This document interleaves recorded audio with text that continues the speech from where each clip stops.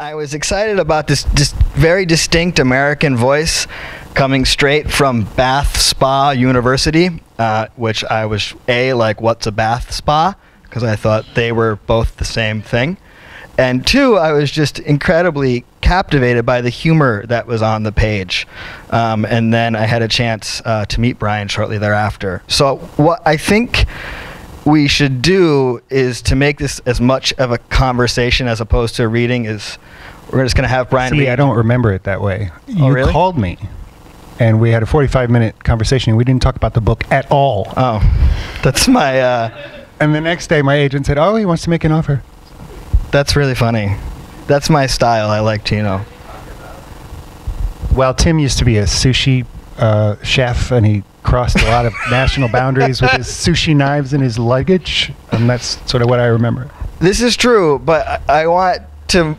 The reason that I said this was because, and this will this will connect back to the book, was that I was astounded that there was someone writing about a sense of place who wasn't in that place. And I traveled a lot when I was when I was younger, and I think we had a very common background. And I wanted to sort of sell you on that. Uh, my my job as an editor at that point was like, listen, I get where you're coming from, because I do love Americana. And again, you know, you're in the middle of, of the UK writing this, and you had been to the Czech Republic. I think we talked about Prague for a bit as well. Um, so that was why I said those things in that initial conversation.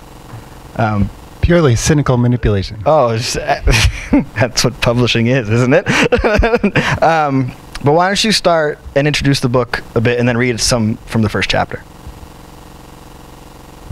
Okay. Um, uh, long after I had written it, uh, I kind of came to think of this book as the tale of a knight errant traveling through the fantastical realm of southern Indiana, encountering various ogres and trolls, and uh, and, and he has a trusty steed in the form of a pickup truck. And I don't know if it ever struck you that way. You're the one who called the Gypsy Moth a trusty steed. Um, but I'll just jump in on the first page, actually. Some old horses. I got my job by accident. A sycamore tree landed on the roof of my predecessor's 4x4 during a thunderstorm. He spent six months in a neck brace. He shouldn't have been in the car, said the boss, Gerald, during my interview. We work in all weather. Gerald is pigeon toed with an aquiline nose and crow's feet around his hooded brown eyes, a caricature of an ornithologist. He even picks at his food. He's a Princeton professor now. Back then, he was a PhD candidate surveying the effects of habitat fragmentation on neotropical migrant songbirds in south central Indiana. How did you get past that sentence? A mutual acquaintance named Lola had introduced us. All Gerald wanted to know was whether I could read a topographical map and identify common trees. I said I could. Prove it, he said. We looked at a map together and took a stroll through the Indiana University campus arboretum, which was slightly unfair since they weren't common trees, but time was short, and with a success rate south of 50%, I still got the job. Memorize these, he said, removing an unmarked cassette from his shirt pocket. It was Birdsong. That is what he listened to on his car stereo, too. And Nathan, he added, to be in the field by 5 a.m., you probably want to set your alarm for 4:30. Want is not the verb I'd have chosen. I was to work 6 days a week. I was lucky he didn't test me on other things I would need to know. Trigonometry, for example, or what to do when you're 12 miles from shelter and the sky turns soup green. Indiana doesn't claim the most tornadoes annually in the United States, just the deadliest. This is partly a function of the number of trailer parks and mobile homes scattered throughout the state. God hates white trash is the vile refrain you hear everywhere after a lethal twister. Lola, I said, how do you know Gerald? I had found it better not to ask Lola how she knew other men, but Gerald seemed a safe bet. He didn't have time for girls. He saved my starlings from my cat, she said. She had a nest in the eaves of the one bedroom house she rented. He lives next door. So they fledged, I said. She had showed the nest to me one morning after I had scrambled some eggs and she had brewed some coffee and we sat at a little table on her front porch. But she usually came to my house and I asked her about Gerald there over pancakes she had made. She used orange juice in the batter, which may seem counterintuitive but can't be beat. Virgil watched the nest for days, she said. Virgil was the cat. I dreaded it, but I didn't know what to do. Then one afternoon, this skinny bearded guy was hopping around in the yard with Virgil chasing him. He moved them to his yard and said the parents would do the rest if I could keep Virgil on my patch. But how did you get on the subject of the bird job? I said. He seemed sort of lost, she said. I thought he lived next door. I made him some banana bread to say thanks, she said. He just stood in the door blinking as though nobody ever gave him such a thing. That may have been accurate, but I suspected that he had never encountered anyone as lovely as Lola before. Her charm lay not in her husky voice or delicate face or fluid figure, but in the way that all these things reflected her intense and genuine pleasure in seeing you. I would like to make that seeing me, but she wasn't very discriminating. She had long coppery hair and freckled arms and calm blue eyes, but I think that was only when I looked at her. She could make herself instantly into anything you wanted to see. I pictured Gerald squirming under all the flattering attention she could put in a single glance. After that, he crawled back under his rock, she said. Of course. So I invited him over once. I had some friends around and I asked if he would like to join us. When was this? I said. I wanted to know which friends. She ignored the question. He didn't show, and I got kind of bored with my party. Everyone talking about concerts they had been to. So I grabbed a couple of beers and slipped out. We sat on his front porch for almost an hour. That might be the longest Gerald ever sat in one place, I said. About once a week, I go over and have beer on his porch, she said. We talk. Do you throw him toast in the morning? She scowled. She was not always honest, but she was never rude. I've only been in his house once, she said. He has a sofa and two bird books. That's all. I feel sorry for him. The last man Lola felt sorry for proposed to her. Still, Gerald was Gerald, and I didn't worry about that. On June 22nd of that summer, between 5 and 11 in the morning, I found 12 nests. That's more than most people accomplish in a lifetime. Two were Kentucky warblers, and one was an ovenbird. The females of both species are deeply crafty. Locating their nests is not a question of looking carefully around, you have to outsmart them. The male, off bragging somewhere, gives you some idea what territory they claim. Within that territory, the female is keeping an eye out for people like you, or foxes, raccoons, and hawks like you. You won't spot her on the nest. A Kentucky warbler is bright yellow, but her nest is partially enclosed, and an ovenbird's camouflage is perfect, and she holds very still unless you get within six inches or so. Both are ground nesters. To a human eye, one reed or branch looks much like another, but she's on intimate terms with each of them. If you do spot the ovenbird away from her nest, she pretends her wing is broken and hops along the nearest ravine, hoping you will follow. The Kentucky warbler is more sadistic. She doesn't feign injury, but she leads you away from the nest until you are ankle deep in mud or rattlesnakes or both. The only way you will find her nest is if she shows you, and she won't show you if she knows you are there. It's like staking out the girl's shower block at summer camp. It can be done, but it takes skill. Gerald routinely reported more than 20 finds a day. For the first week, I just shadowed him. We walked into the forest, and abruptly, when I couldn't tell when or why, he would sit down on a convenient log and close his eyes. Gerald was very angular, with a scraggly red beard and a semi hunched back. He reminded me of a garden gnome. After ten minutes, he would open his eyes and quietly announce that the Carolina chickadee I hadn't heard probably nested in the hickory stump I hadn't noticed on the way in, and at least four Acadian flycatchers were active in a nearby creek bed. He could tell what vegetation lay in which direction just by listening to which birds favored that area. At times I imagined that I didn't hear any birds at all, so loud was the sound of Gerald's calibrated brain absorbing and interpreting so much delicate information. The more familiar I became with the work, the more impressed I was with his mastery of it. And years later, with substantial experience under my own belt, I was never even a Watson to his Holmes. Um, thanks, Brian. That's I, I love this part of the book actually so much, and I love those last. Uh, few passages when we get into the birds because I didn't know anything about birds when I read it or when it was submitted, and I certainly didn't know anything about the Kentucky warbler, uh, which I just find your description of it here so fascinating that that actually exists. And um, I wanted to know how you how you came to learn uh, so much about birds originally. Well, I don't. Um, but I have it's Google. fiction, right? Yeah. when I was um, the full story is that when I was in high school, this kid hit me really hard after I stole his bubblegum. And I woke up in the emergency room with a defective left ear. About seven years later, I got a strange job finding bird nests for Indiana University. And I wasn't very good at it because I couldn't hear where the birds were. Everybody else would say, oh, that one's over there. And I would just turn in circles.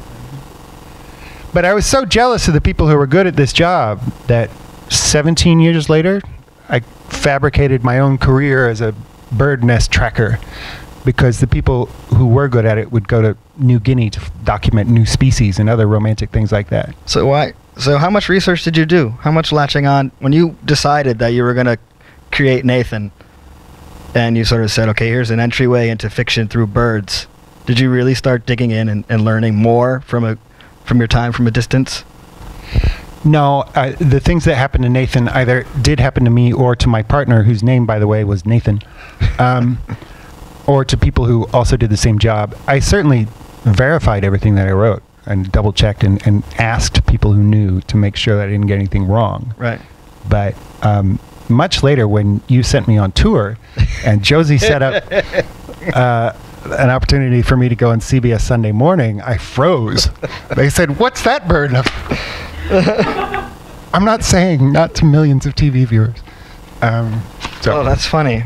I'm happy we were able to give you that opportunity. um, well, let's. I mean, I, I like this idea that that Nathan and I imagine Lola to some extent they're sort of composites. Then are these the people that we meet? Like your characters are particularly strong, and we'll get to another one later, um, who is only on the page for but a second, but has stayed with me for a long time. But it's one of your strengths is is the characters, and I just want to know, you know, are you building them from other people you've met throughout time?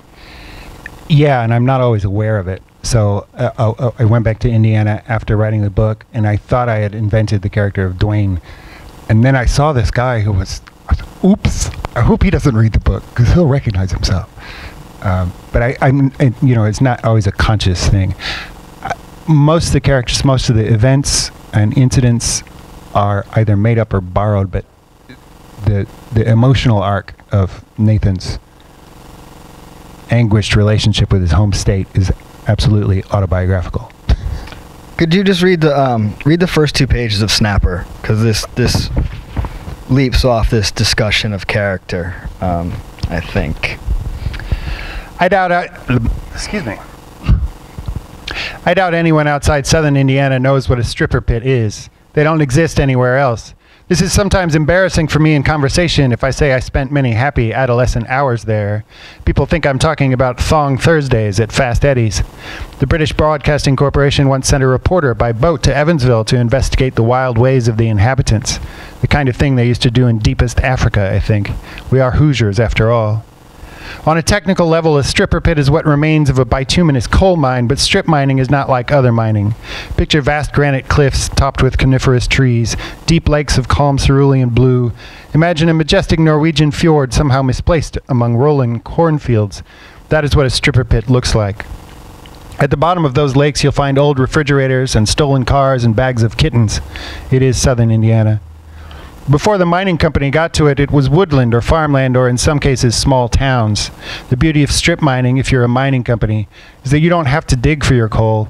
You just scrape everything off the top for several surrounding square miles. Then you scrape yourself a lucrative pit where the bituminous is piled deepest.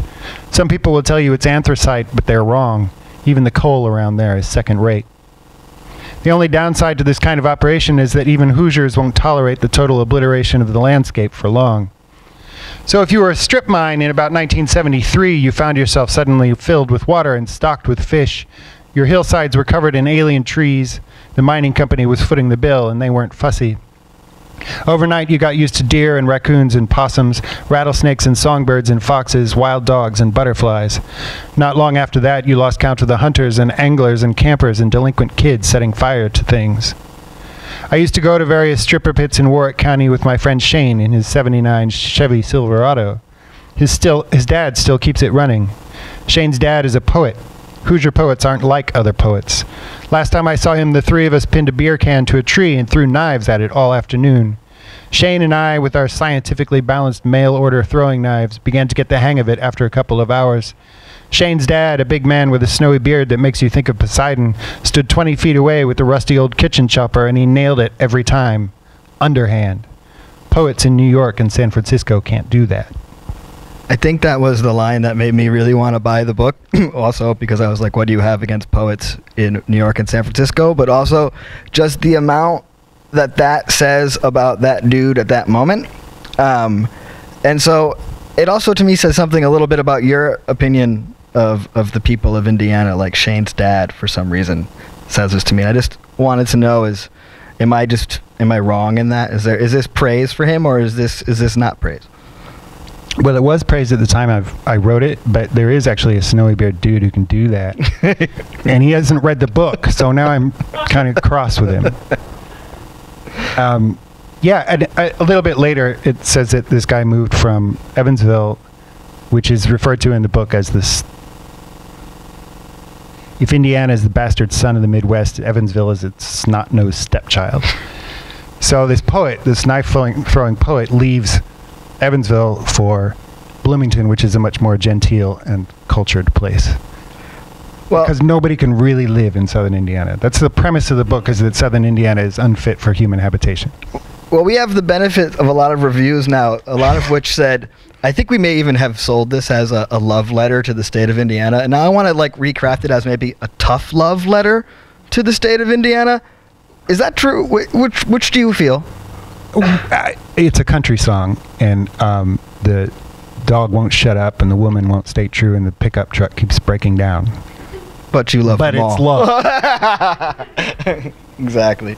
Um, that, and that's because I like this also this this sort of idea that the BBC sent in a film crew, and so here you are, you're writing your book about Indiana from the UK. Were you in some way like this sort of a film crew going back to your own state and looking at it again through a new lens when you were writing about it? And then did you fall in love with it or did you hate it afterwards? Well, I, um, the first question definitely. I was, I, I was in a documentary mindset that you know I had to explain this to people who had never uh, even thought about thinking about Indiana, Mm. and had to go into some detail, which I wouldn't have done if I were living there. And you know, What was your workshop like? You're you're in a creative writing program, so he's writing he's writing in a workshop, and you're presenting stories about Indiana to I imagine Brits, right? no, it's very international actually. Um, Huh. Uh, Well, that's a sidetrack. But so, but in any event, um, when you were doing this, did you find yourself re-falling in love with your state, or, or finding so, were you like being repelled a little bit by it?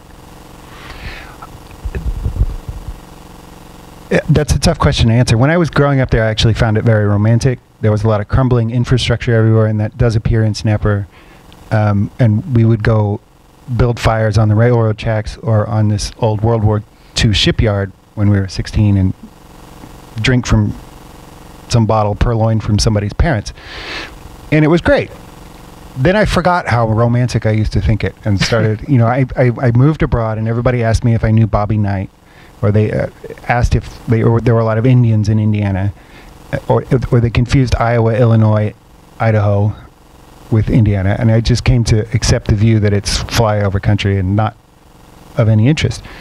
Until you know, there I was living in a, a Bath, a UNESCO World Heritage City, and I was suddenly compelled to write about a desolate truck stop in southern Indiana. Right. Actually, can you read a little bit from Nationwide? This is one of my favorite moments in the book as well. Simply because another thing that I love about it is Brian's eye to um, things that are being noticed that might go unnoticed. Nationwide. The gypsy moth wasn't what you'd call roadworthy, but I kept her a wheel for a while. The radiator had two big cracks, and I discovered these in the middle of nowhere, so I plugged them with bread for my sandwich. Ten miles later, I had toast. After that, I kept an eight gallon plastic canister in the passenger seat and refilled it every time I passed a lake. When necessary, I pulled over and poured lake water into the radiator along with a few tadpoles. I thought she could use the protein. I found other leaks of other fluids all over the underside of the truck, and I patched these up with duct tape or chewing gum, depending what I had on hand. At that time, I was crisscrossing Indiana counting birds for the Department of Natural Resources, and I generally had to make my repairs deep in the forest somewhere. You can use water for brake fluid, too. I promise. The other problem with the gypsy moth was her appearance. Lola had persuaded me one sunny Sunday that we should spray paint butterflies and fairies and mushrooms on the hood, roof, and sides. Across the top on both sides of the flatbed cover, she had written Gypsy Moth in gold glitter. This kind of thing was okay in university towns like Lafayette and Bloomington, but out in real Indiana, I might as well go around in a skirt. Also okay in Lafayette and Bloomington, by the way. I let her do it because I had my own remodeling plans. While she was painting, I put a wooden pallet in the back and a mattress on top of that. I was sure that in her new creation she'd enjoy going out to watch birds with me. Then she met a potter with four motorcycles, but that is a different story. One afternoon, I was driving east away from Lincoln State Park and toward the town of Santa Claus. They wanted to call it Santa Fe, but the post office told them some other town had got there first. Bourbon whiskey may have played a role in the resulting town meeting, but this was 1825 and nobody knows for sure. Anyway, it was over 90 in the shade, which made the gypsy moth even thirstier than usual. She started knocking at me like an old washing machine about to scamper across the kitchen floor. I pulled up at a truck stop, the old fashioned kind with a chrome trimmed diner open 24 hours where they put the same stuff in your coffee mug they put in your gas tank. As it was so hot, I parked in the shade of a 30 foot concrete, concrete statue of St. Nick by the side of the highway across the forecourt from the diner. I popped the hood and hopped out with my lake water in hand. I got the radiator cap unscrewed and started to pour with an eye out for twigs or minnows, and then I heard flip flops flapping on the asphalt. I stopped pouring. A plump woman in her 50s with bland hair and bland eyes was looking to speak to me. You got a leak? she said. I said that I did. Hold on right there, she said. I'll get you some eggs. I thought she must be making a joke about the weather. You could fry an egg on the engine block, that sort of thing. She didn't smile, though, just turned around and flip flopped back to the diner. I could see there were no customers inside, and I guess she sat in there with the air conditioning on high, just waiting for people like me. There was nothing around but cornfields for several miles. The Michelin Guide to Indiana by Nathan Lochmueller is real short. Everything's flat, everyone's fat, and you can't buy beer on Sunday. That is all you need to know but I admit that sometimes you do run across a colossal Santa Claus on the highway. Put these in, she said. She held a carton of six white medium chicken eggs out in my direction. Two or three to start. In where? I said. Your radiator. Seal the leak. Sometimes you can just use paprika, but a real leak needs eggs. That bread had held up for ten miles the first time, so I was inclined to try her eggs out. I thought that for future reference I should find out which forest songbirds laid the best eggs for automotive repair. Do I crack it first? I picked the nearest egg out. It'll crack itself, but you could give it a hand, she said. You probably don't want the shell in there, though I don't suppose it would hurt. Lola can crack an egg perfectly on first try every time. It's a skill I've always admired. I wound up with half on top of the radiator and the other half over my hand. Try again, she said. I selected another and managed to drop its contents into the radiator. I wasn't sure what to do with the shells. I could see she kept the premises very clean. What else would she do out there? And dropping the shells might seem like littering. Another one, she said. I never heard of this, I said. She shrugged as if she expected as much. It's easy to see the egg will solidify as it boils, but how anyone figured out it will fill up a crack in the process is beyond me. We'd gotten four eggs in there when a thin man in a greasy apron joined us outside. You don't look like a gypsy, he said. He had a sharp, stubbled chin and a permanent squint. I didn't know what he meant. It says gypsy moth, said the woman. You can throw them shells in the grass. I know what it says, the man replied. You ain't finished it, though, right? You're going for gypsy mother. Ernie! The woman interjected. Like truckers, Maud, he insisted. Everett's rig all done up with Ivan the Terrible and Kevin says Big Bishop. He was giving me the benefit of the doubt. You don't look like a gypsy, though, he repeated. Maud had begun inspecting the rest of the truck. You know, screws is cheaper than duct tape, she said. Muffler on this model is attached to a plate. It's supposed to be, anyway. I had the whole thing taped to the back bumper. I didn't have any screws, I said. I had assumed the whole thing needed a professional mechanic with heavy equipment. We probably got some that'll fit, she said. Ernie continued his efforts to be friendly. I like this girl with the boobs, he said, pointing at a mermaid on the side. Lola painted that, not me. Maud was on her knees looking underneath the truck. Her voice was remote, muffled. You got a band aid over your gas lines, she said. Couple of them. I was getting embarrassed. It leaked, and I was miles from anything, I said. She stood up and shrugged. Just don't drive over an open flame. Tell you what, said Ernie, I'm glad to see a truck like this doing what she was built for. Lola's artwork lay under all kinds of grime and mud and forest grit, and the body was peppered with small dents from rogue gravel on country roads. That truck had even seen a tornado up close. Mostly these days they get waxed every Sunday so they can run to the mall twice a week. What line of work are you in? This, this was always a tricky question. I'm a bird watcher was the sort of answer they might expect from a man who drove a truck called Gypsy Moth. It suggested that back home in Bloomington or Lafayette, I went around in a skirt. I should have made Lola name it Gypsy Queen or something. I'm a researcher, I said. Uh huh, said Ernie. What do you research? Birds. That's real nice, he said. I wish I had a job like that. Let me ask you a personal question, said Maud. Birdwatchers pay not enough to get your truck fixed? No, I said, not really. Ernie can patch you up, she said. Better than you are now, anyhow. I patch anything up, said Ernie. Less it's electronic. Don't hold with that kind of thing. This here is an honest truck. If you don't want to wait in the heat, come inside, said Maud. Ernie handed his apron to her, and I handed the keys to him. So, it, I think I actually already know the answer to this question, but there was at one point a gigantic Santa Claus by the side of the road. It's better than that. There were many. Oh. And are they still there? No, I will, I will. I just needed a drink. The town of Santa Claus commissioned a larger statue every year for some number of years throughout the 70s. And then when they got tired of the old ones, they would auction them off. So there were several gas stations throughout Indiana that just bought these things to, to draw in families, you know, kid, oh, let's go see Santa Claus and, and get them into the truck stop for conversation or food. And each one was a little bit bigger. Yes. Funny. I think they're they're they're pretty modest now, though. Um, and so, have you actually had? Can you actually fix a radiator with cracked eggs as well?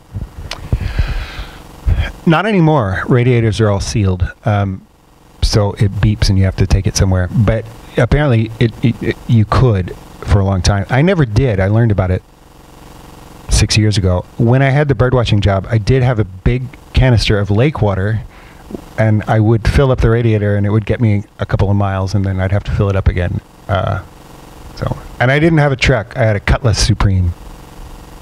Well, that's funny. Um, well, what goes? What happens as this chapter progresses, which is really fascinating, and I don't want to just sit here and read, but um, Nathan goes into this, uh, goes into the truck stop, and Santa Claus. Turns out, kids start sending. Um, they think Santa Claus lives there, so they start sending all the Christmas wish lists there, right?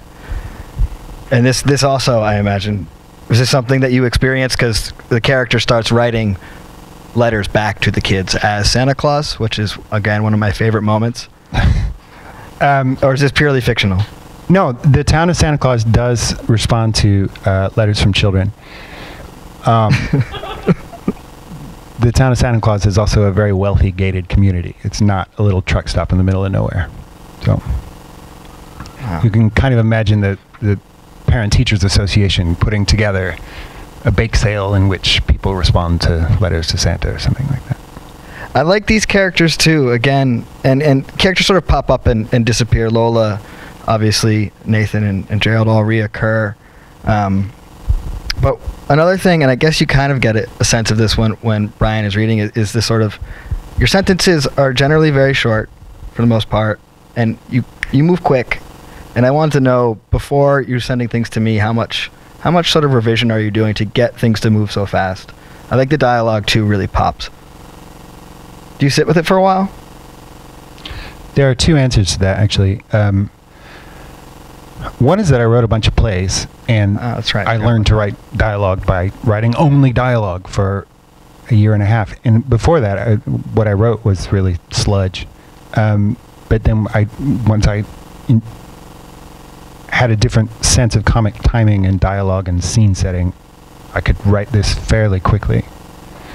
Um, but I also, I, I often start with a kind of um, free verse, and then I'll later I'll smudge it up into paragraph form. But I pay attention to cadence and rhythm, uh, alliteration, and so on. And it becomes the sort of thing that you would almost have to be Peter O'Toole to read out loud. And I, I you know, I'm kind of Chrome Trim Diner open 24 hours is really difficult. I've to so I, I have to unpack it and make it less artificial sometimes. Hmm. That's interesting. I forgot, I wish I should remember, as your editor, that you worked with, um, that you did write a fair bit of plays, and that was something that struck me when I was first reading it too. And it's it's interesting to be reminded of that sitting here now, because again, I think a lot of the reviews, which is interesting when you're working with the paperback or talking about the paperback, I think a lot of people picked up on that.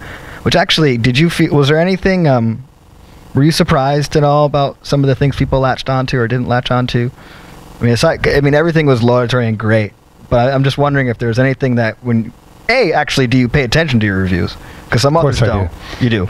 Um, And B, were there any that that you felt, um, you know, maybe latched onto something you didn't expect? well, uh, some blog somewhere called it a dark and charming elegy for a nation in decline. Which may be my favorite, but I'm not sure what they were talking about. Uh, Oh, that's wonderful. I'm happy that you told me. That. did, did, did things in reviews jump out at you? I um, I was no. I I think that there, the way that we presented it with the package for the hardcover, which is also interesting because you could see the the two different versions of it, and how Josie, publicist who's here somewhere, how she pitched it. Um, I think it was excellent, and it, I think that it, it did come off as this sort of magnifying lens to fly over country, which was exactly what we wanted. Um, so we were delighted. And, and in terms of, uh, you know, the accolades, in terms of people tapping it for top tens or interesting little lists, it just kept finding its ways um, onto this great things. And I think you and I talked about this too, as you think about Donald Ray Pollock or Frank Bill, and you think about this other Americana, this dark sort of Americana that's happening. Um, this is different. You know, it's it's it. There's some darkness to it, but there's also this. Again, it's this sort of blend of love and hate. Because you read Frank Bill. What did you think of Frank Bill? Right? Didn't you read? Um, did you read Donnybrook or no? Or I- did you I- read Crimes in Southern Indiana? I read Crimes in Southern Indiana, and um, it, it, it has its merits. Um, It's different. It's a little more meth and fighting. Yeah, I remember having conversations in England uh, with various people about. I didn't know of anyone who was writing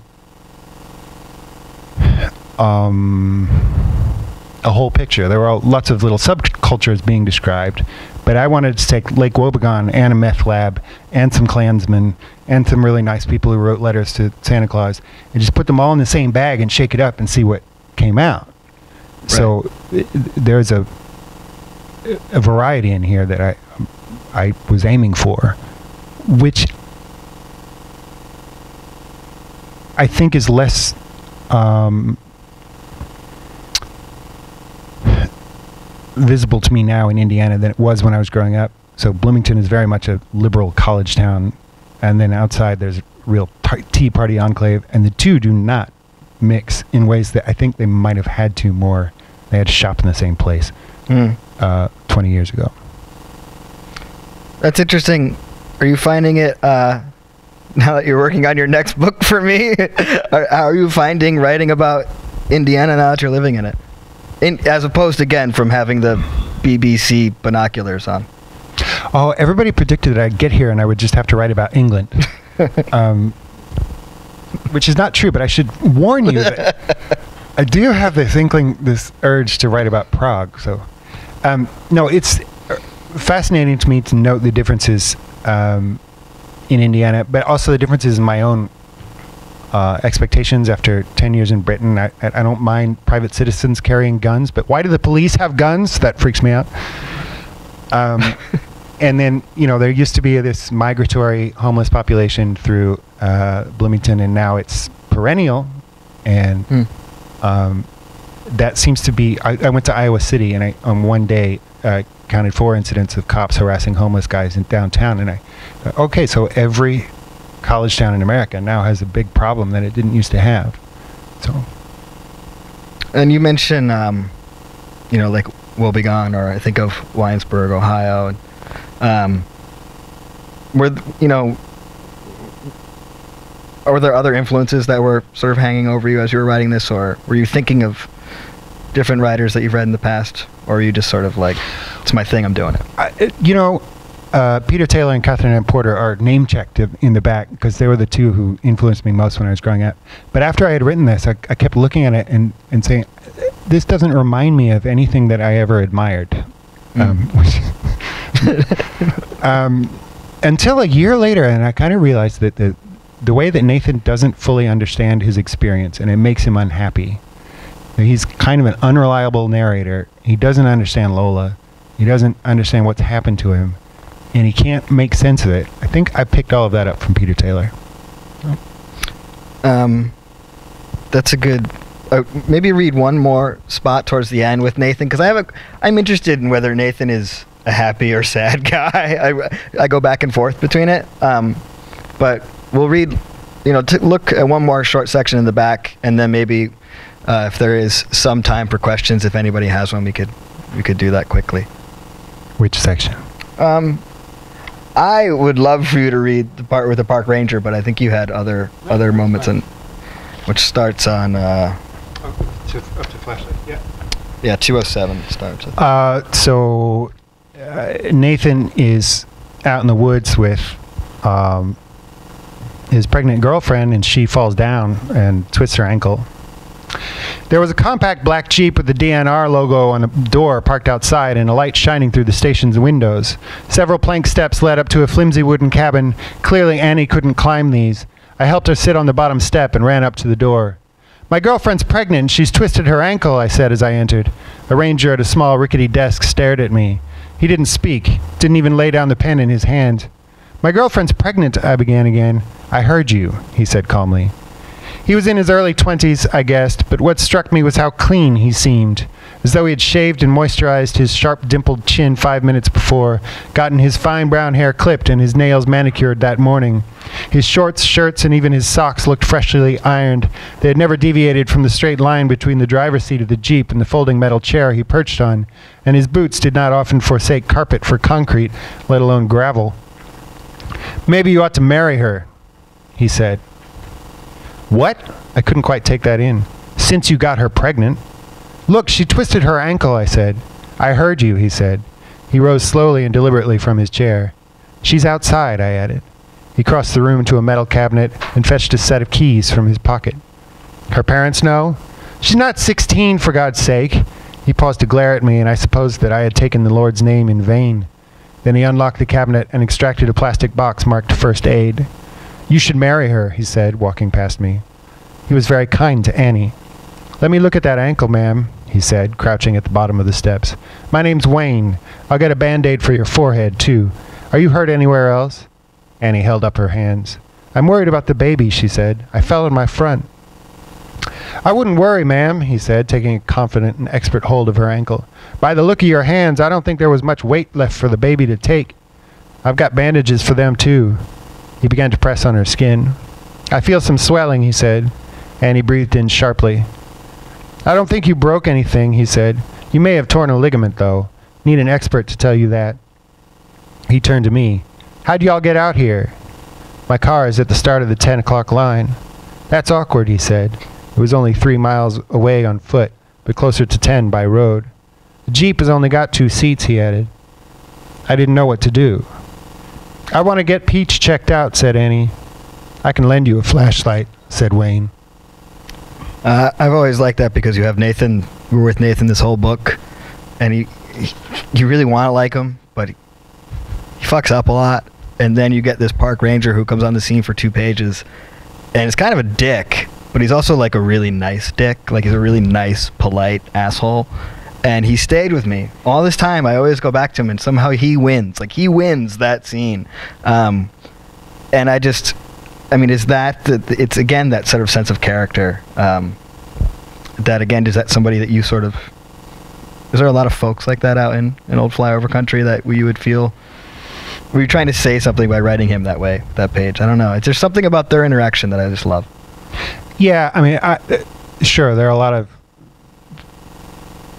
good folks out there, and but a big part of the way the book works is Nathan constantly discovering what an idiot he's been. yes So i he decides that Maud is, uh, whom we met earlier at the truck stop, is uh, one sort of person, and then he turns out to be wrong, and that happens, that recurs throughout the book. right And in the end, he's kind of exiled from Indiana permanently, um, having never really appreciated it. Right um, if you want to ask some questions you want to use the mic for questions as well here Does anybody have any questions tonight for Brian? Okay. I'm gonna bring you the microphone. Um, mine is more of a request, actually. Um, when you're just talking about the characters that you know teach Nathan something that he realizes he you know should have known before, my favorite character, as you know, is the is his Texan uncle, and um, how Nathan thinks for the you know that whole story about him that he's just this miserable racist. Um, but then when he finds out more about him and more of what his experience has been moving to Indiana from from Texas, he realizes he's not such a bad guy after all. Um, so I was wondering if you could read that last little portion of that story where he talks about being, um, he talks about the shooting and um, how the Yeah. family is most important. While I try to find it, I'll just explain that um, my next book is going to be called Fifty Shades of Redneck. and what I wanted to do w- with bringing the Texan to Indiana was illustrate that, uh, because Indiana does have this t- terrible history of white supremacy, you know, and just wanted to illustrate that it's not all one giant block of awful. Where, where did I read that Indiana is the South's middle finger? I need to appropriate uh, for the, my next book. But, so, all right. Uh,